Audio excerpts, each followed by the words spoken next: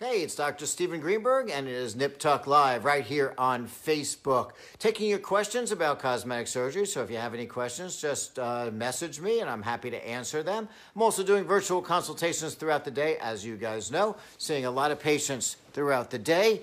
Um, hello, Araxia. How are you? Um, so we're seeing uh, virtual consultations I am scheduling my surgeries for a few weeks down the line. We are going to get everybody in. I know a lot of people are worried. Are we going to get them in to have their cosmetic surgery uh, procedures done? We are definitely going to get you done. We're pushing you off for a few weeks until we can do everything possible, but we're going to get your surgical and non surgical procedures done. A lot of people are asking, you know, can you definitely get me in? I want to be done for the summer. Yep, we'll get you in. One of the things has, that has changed dramatically in cosmetic plastic surgery over the years is technology. Technology has helped us so much. So whether we're doing a breast augmentation where technology gets you back to normal activities in 24 hours, or liposuction with smart liposuction, technology gets you back to stuff again in 24 hours. Recovery times are less. Um, there's less bruising, there's less pain, and it's much more natural results, especially in my hands, because all I'll do is a natural look. For instance, if we're doing a facelift, I like to do little mini lifts. I like to get rid of the jowl. I like to tune up the neck, but I don't like something that's pulled too tight. Not happening with me. I like a very, very natural look. Um, I think natural is key. We for a mini facelift, I make an incision around the ear and I go under the skin, and I'll show this uh, video to you one day. Um, I go under the skin, we lift up the skin, and we lift the deeper muscular layers up as well. And so you can get rid of the jowl, you can get rid of the neck. Tons of people come to me and say, Oh my God, I don't want to have this neck that's falling. I don't want to have a jowl. I want to get rid of that extra skin. And it's a really pretty simple procedure where we can get patients back to normal activities so fast. I've had patients after a mini lift where after 24 to 48 hours, they put some makeup on and they're out doing stuff without anyone knowing. Typically, to do a little mini facelift, patients take about five to six days off. But not, you don't need to do that. All the time, I get questions about does a facelift take care of the neck? It's all one. So the face and the neck we pull up together. And it, again, this is not this tight, crazy pull where it's distorting your face. This is just a little bit of a lift where you go like that, you go underneath, and you can really get rid of a lot of the extra skin and make somebody look years younger without anyone knowing. Nobody would know. I do a gazillion of the celebrities out there. So when you're watching television, when you're watching a movie, I do a lot of the. Um, uh, the a lot of the uh, celebrities out there, but they you look really good, and you don't have to have this crazy tight pull. So my goal is when I'm finished that everyone says, "Oh my God, that person looks better," not "Oh my God, what happened to that person." Um, Araxius, how do I find the best plastic surgeon? What are the factors? I mean, certainly board certification. Somebody who does this stuff all the time. I do a lot of these procedures. Um, you need somebody with experience. I fix a lot of people out there who are done by other plastic surgeons who I'm just um, not, you know, they're, they're just not happy with those results. So we fix them up, and there's a lot of things that we can do. The um, uh, breast procedures that we do, I, there are a couple. So if somebody's really big or really droopy, we need to either lift them or we need to um, do a breast reduction. It's the same exact incisions, the same exact procedure when you do a breast lift versus a breast reduction. The incision goes around the areola, straight up from the areola down, and then underneath, and that's called an anchor incision. That's a breast reduction and a breast lift. Thank you, Donna, saying I'm the best. I appreciate that. Um, breast reductions and breast lifts are quick in office procedures, and it will change the person's life. When you take the weight off of the breast, they feel better, they look better, their grooving of their bras are gone, They're, they get infections that they don't get anymore. Um, the, the younger girls are able to play more sports. There's a lot that we can do um, to make the breast look better. Sometimes, uh, and by the way, anyone guess the most common cosmetic surgery procedure in the United States? Just write it down. If you, if you can guess the most common procedure in the United States, um, and we're going to talk about that in a second. I'll tell you the second most common procedure in the United States is liposuction. So let's talk a little bit about liposuction while you guys are guessing what the most common cosmetic surgery procedure is. Liposuction is a way to take care of extra fat. Um, it does not get um, it does not get rid of the extra skin. It doesn't get rid of the cellulite. Breast implants. That's absolutely right. We're going to talk about breast implants. The number one cosmetic surgery procedure in the United States is breast augmentation. So when you're doing liposuction, we can get rid of, with another laser, we can use a special laser to get rid of cellulite too, which is that dimpling that some people get and we can definitely fix a lot of that with lipo. And lipo is such a quick and simple thing. Um, again, it's like taking the air out of a balloon. We can deflate you. I do a little lipo. It's done under a very light anesthetic. You go about your normal business the next day. Nobody will know. We can reduce the thighs. We can bring in the waist. Uh, we can bring in the belly. All those things do really well with lipo. So let's talk about breast implants.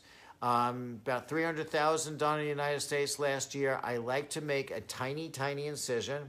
I like to put it underneath in the crease, that small incision, and the implant goes under the muscle. We use a lot of the gummy bear implants. They're the newest type of implants. They're soft, they're natural. We don't have to worry about free silicone anywhere or any of that old stuff. So, breast augmentation, breast implants are very common. Um, it's a 20 to 30 minute procedure with my Greenberg Rapid Recovery Program. That's it. Doesn't take any longer than 20 to 30 minutes to do your breast augmentation. And with the Greenberg Rapid Recovery System that I use, by the very next day, you're about, up and about and you know doing your normal stuff. Go back to work in a day or two. Eh, this is not a lot of downtime. Um, and patients do exceptionally well. For most patients, they can go back very quickly. You know, everyone's a little different, but the majority of patients take some Tylenol um, or maybe take one pain medicine. That's all you need, and it's not so bad. So, recovery time for a routine breast augmentation is amazing. Now, what we do in my office at the Greenberg Cosmetic Surgery Centers is we do a lot of computer imaging. Computer imaging works really well to show a patient what they can look like with a breast augmentation before we do it. We can show you what you look like with um, a bathing suit on, or with nothing on, or with a dress on, whatever it is. So, computer imaging has actually revolutionized how we treat patients for breast augmentation. So, for the first time, we can show you before your surgery what you can look like. So, it makes a really nice difference um, to do that. Technology in my offices has, thank you very much, Liliana, for saying I'm the best. I appreciate that. Technology um, has helped us so much. Um, how does the Greenberg Re- Rapid Recovery System differ from others? It's all technique dependent. Um, so it's the way I do this. There's no cutting of muscle. It's a very specific technique that I've developed over the years um, to make patients recover very fast. How long does a lift and change prior implants take? To do a lift and to change implants, it's about an hour and a half or so procedure, depending upon how much work we have to do. It's an in office procedure, as all of these procedures are. And by the way, with all the craziness going on, we are operating or will be operating when we start again very soon in my office ambulatory centers, which are pristine. They are absolutely unbelievable, clean, and we don't have to go to a hospital, and we have special programs available, so we're not worried um, about those details as if you had to go to a hospital. Do you offer Brazilian lift? Yes, we do a lot of Brazilian butt lifts at Greenberg Cosmetic Surgery. I do them all the time. So let me just talk about that a little bit, what a Brazilian butt lift is. And by the way, keep asking questions, guys. Um, Brazilian butt lift is we take fat out, so it's a fat transfer. I usually will do liposuction of the abdomen, we'll do liposuction of the waist, shrink down that waist nicely. Sometimes people want a little lipo of their inner thighs or outer thighs or whatever with that. And we take that fat, we purify that fat, and then we inject the fat that we did liposuction with and put it into the butt. And what does that do? That is enables us to reshape the butt a little bit. Sometimes the outer shape of the butt, sometimes the entire shape of the butt. Um, we're able to do that. Some people want a bigger, more shapely butt and a lifted butt, and some people want a smaller butt. So if you want a smaller butt, what we do is a little liposuction. So those are the two things that we do for butts. Um, liposuction is quite simple. Uh, recovery time, as I said earlier, is about a day or so. So you could do lipo on a Friday, and by Monday, and the same thing for breast, by the way, and, and by Monday, be back to work. Um, so they're saying, what, what if you're thin? Okay, for a Brazilian butt lift, what if you're thin and want to do um, a Brazilian butt lift? It's very hard. You need extra fat. Um, uh, you need extra fat. How long does the Brazilian butt lift take approximately? Depends how much lipo we do. If it's just abdomen and love handles um, and we're putting fat in the butt, what we do is we, uh, it takes about an hour to an hour and a half to do that whole procedure. So it's a quick and simple uh, in-office procedure. You go home right away after. Um, so we have a fully accredited ambulatory center in our office and it's the highest level of accreditation. So it's not just like a little office operating room. By the way, our office, our offices are insane. You guys should see them. If you come over to the Woodbury office, it, it's like this huge, uh, almost like a hospital. It's like 15,000 square feet. Um, and it's really insane with the highest level of accreditation with board certified anesthesiologists. So it's an awesome uh, place. And, and in the city, in Manhattan, we're on 72nd on Park Avenue, also a gorgeous office with ambulatory center as well. We're in also um, the Hamptons, the Southampton. Thank you, Mary, for saying the office are beautiful. We're in Southampton as well as our newest um, office uh, just opened in Smithtown.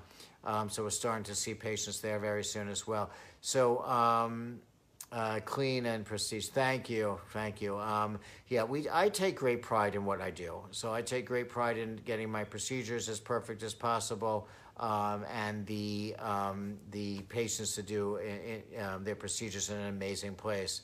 Um, abs liposuction sculpture is a reality. Um, so when you sculpt the abs when, with liposuction in the thinner patient, I can sculpt a six pack or an eight pack. Yes.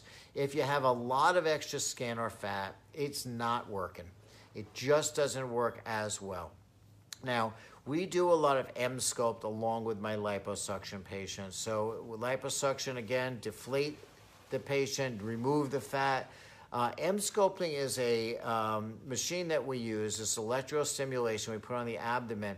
I've I've gotten patients to get six packs with this Emsculpt machine. We put it on the abdomen. When you do that, it's the equivalent of doing 20,000 sit ups. Uh, it's in a half hour. It's crazy. When you put it on the butt, it's the equivalent of doing 20,000 squats. I've made butts firmer and bigger with Emsculpt, and I have also um, made abdomens, you know, six pack sculpting. So um, it's amazing. Liposuction alone or Emsculpting alone do great. When you combine liposuction plus an Emsculpt, wow, it is awesome. Uh, you're welcome, John. So it's awesome because they work in different ways. Liposuction removes the extra fat. It's simple. It's simple for me to get patients much smaller with liposuction. Um, and then you add the Emsculpt to it, and we can really get that muscle developed. And this is something that just came out this past year. We've had tremendous success with uh, Emsculpting. Um, someone just asked me uh, before, what's the difference between cool sculpting and liposuction? Cool sculpting freezes the fat away. So you're sitting and watching TV for a half hour or an hour, and it takes away about 30% of the fat from the area that we're applying the cool sculpting machine to. Liposuction takes away a lot more, um, a lot more fat. So we can sculpt and mold very much more fat when we're using liposuction uh, versus cool sculpting. But listen, if you want something non-invasive, um, you want to just sit there and watch TV for a half hour, we do a little uh, um, cool sculpting and it freezes away 30% of the fat. Your body naturally excretes the fat, doesn't come back, and it works well. So cool sculpting works on the abdomen, love handles, the bra roll area, the thighs, the chin, the arms, a lot of places we can do cool sculpting on and it works really well. Where does the fat go when we do cool sculpting? Um, it freezes, your body excretes it normally. Uh, you know, it just it goes away and it does not come back. So your body just is able to excrete the fat when it's uh, broken down. Um, yeah, it freezes the fat. Um, so that's the between liposuction and cool sculpting. Lipo is always going to be the, what we call the gold standard. It takes away a lot more fat than cool sculpting. But you know what? Cool sculpting for the right person um, can do fine. Come in on your lunch hour. We hook you up to the cool sculpting. You watch TV or go on your phone for a half hour or so, and 30% of the fat from those areas will be gone. If you want a much better result, it's definitely lipo. Okay, next question. What's the difference between liposuction and a tummy tuck? Completely different procedures. Tummy tuck removes skin and fat and tightens the muscles. Uh, liposuction doesn't. So if you lost a lot of weight, had children, or just genetically you don't have a, a you know you don't have a tight belly, that would be a tummy tuck. Tummy tuck is an amazing operation to get rid of the skin and fat from the abdominal wall. It works really, really well. All right, so we're here every day, right here, not only on Facebook, but on Instagram Live, the Dr. Stephen T. Greenberg site. Uh, you can catch me on Instagram every day at 11:30 in the morning and uh, every night at 8:30, and then I'll do a Facebook Live after that. I'm doing uh, virtual consultations throughout the day, so just direct message me. I'm happy to do it. Um, or go to greenbergcosmeticsurgery.com and schedule your virtual consultations. Um, can you offer for yeah? Um, yeah, so we can offer full confidentiality in the office. You know, we hide people very well. We have special entrances and exits, and we do very, very many celebrities that you would never be able to find coming in and out of my office. We hide very well. This is Dr. Greenberg. We'll see you tomorrow. Instagram 11:30 and 8:30 tomorrow, and look for me on Facebook or go to greenbergcosmeticsurgery.com. I'd love to see you for a virtual consultation. Have a great night, everyone. Bye.